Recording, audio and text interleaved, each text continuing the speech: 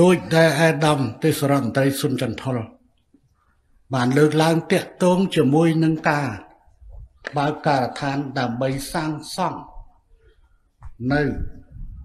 កំពង់ចំណត់កុងតឺន័រកំពង់ផែស្វយ័តនៅទីក្រុងបរសេនុនេះ ចំណុចនេះអ្វីដែលបានកើតឡើងនៅកំពង់ផែនេះ ខ្ញុំគួរតែរំលឹកបន្តិចហើយរឿងនេះ កំពង់ផែនេះត្រូវចងចាំ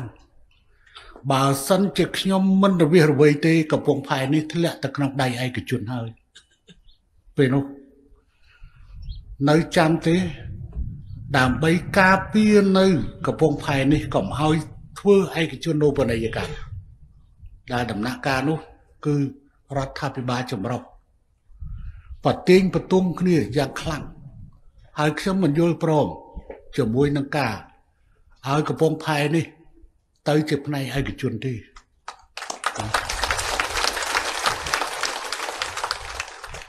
ហើយខ្ញុំអាចនិយាយបានថា បើកំពង់ផែនេះคล้ายទៅជាកំពង់ផែឯកជនសុំកុំសង្ឃឹមថាជប៉ុនអាចផ្ដល់លុយឲ្យយើងខ្ចីនិងផ្ដល់ជំនួយសម្រាប់កំពង់ផែនេះឲ្យសោះព្រោះជប៉ុនគាត់អត់ត្រូវការជាមួយពាក់ជប៉ុនជាមួយនរណាទេ បើគាត់ធ្វើគាត់ធ្វើគាត់ធ្វើគាត់ធ្វើអញ្ចឹងទេកាលនោះរឿងច្រើនណាស់សូម្បីតែអ្នកខ្លះយកឡានតែពីរគ្រឿងយកមកដាក់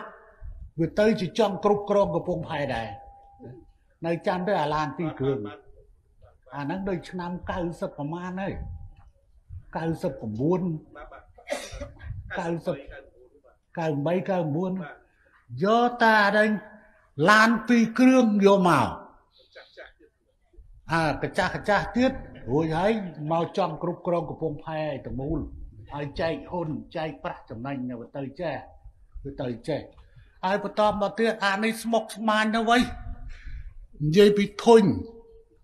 អារឿងបញ្ហា scan កុងតឺន័រអា scan កុងតឺន័រនេះកើតរឿងរ៉ាវមិនចេះតិចទីចុងផុតហើយដកចេញទាំងអស់មើល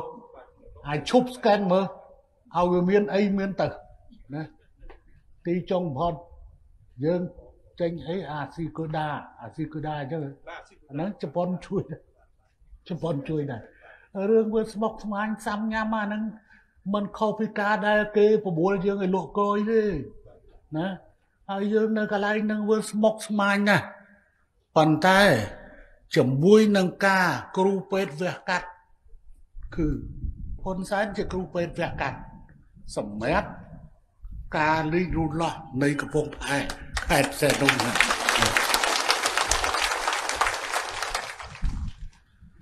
ហើយខ្ញុំនិយាយអំពីប្រវត្តិនេះបន្តិចខ្លះគេថាអត់លុយចេះខ្លះគេថាអត់លុយចេះខ្ញុំថាវាមិនផ្អូមទេកំពង់ផែហ្នឹងកំពស់វាមិនផ្អូមទេទុកវាអញ្ចឹងសិនទៅហើយចាំយើងមានលទ្ធភាពចាំយើងចាំយើងសាងសង់ សិប្បកម្មសាប៊ូសេដ្ឋីធី មានផលិតសាប៊ូបោកក្អៅសាប៊ូលាងចានសាប៊ូជូតអិតដោះបង្គន់សាប៊ូបោកក្អៅម្សៅ និងទឹកក្រអូប ដែលមានគុណភាពល្អនិងតម្លៃសមរម្យគាំទ្រផលិតផលខ្មែរជួយឲ្យប្រជាពលរដ្ឋមានការងារធ្វើ Facebook Page កូនខ្មែរសាប៊ូខ្មែរ